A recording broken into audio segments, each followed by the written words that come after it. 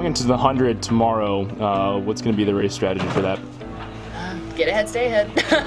I mean, uh, you know, I'm going to be racing myself tomorrow on the 100, so, um, you know, just honestly, just see how far ahead I can get and uh, hopefully be under 30 on the last 50. That's uh, my goal because it'd be kind of sad to go 55 with a 30 on the last 50. Um,